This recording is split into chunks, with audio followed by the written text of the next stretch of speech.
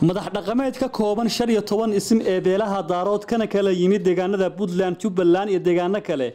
Oo hogaaminayay boqorka beelaha daarood boqor burhaan boqor muuse ayaa si weyn loogu soo dhoweeyey deegaano ka tirsan gobolka sool iyo weliba magaalada laascanood madax dhaqameedka ayaa ujeedkoodu ahaa u kuurgelidda deegaanada ay colaadu ka dhacday gaar ahaan deegaanka dhumay oo ay geeyeen raashin dhan kun qoys iyo weliba shan iyo toban kun oo dolar oo loogu talagalay guddiga taakulaynta halkan markan waxaan wareejinaynaa kun qoys raashin aan ugu talagalnay oo aan rabno inay gaadho qoysaska.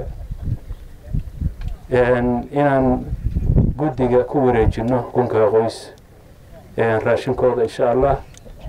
Waxaan kaloo wareejinaynaa lacag aan badnayn oo shan iyo toban kun ah oo aan ugu talagalnay shaqada halkan guddigu ay ku hayaan iyo martida imanaysa iyo dadka deegaanka imanaya in lagu maamulo. Isimada dhaqanka ayaa deegaanada dhumay iyo dharkayn kula kulmay. Beesha khayr cabdi oo ka mid ahaa beelihii ku dagaalamay deegaankaasi waxayna dhegaysteen qaar ka mid ah odayaasha deegaankaasi oo ka hadlay habkii loo dhammayn lahaa colaada labadaasi beelood. Safar dheer bay ku jirtaa.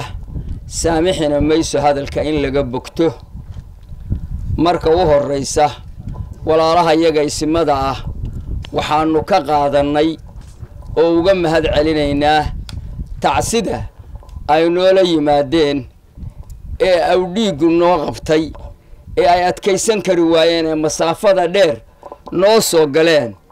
Iyo dhallinyaro iyo marwooyin iyo mudanayaalba talada ehelku noo wado oo noo keenay waanu qaadannay si kalsooni iyo iimaan leh.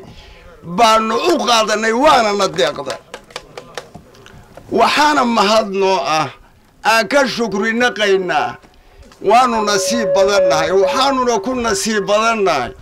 Shan iyo toban isin oo daarood iyo cuqaal iyo culimo wada socota maanta ka hor nooma imaan isimada dhaqanka daarood oo qaarkood goobta ka hadlay ayaa ugu baaqay in laga shaqeeyo nabadda.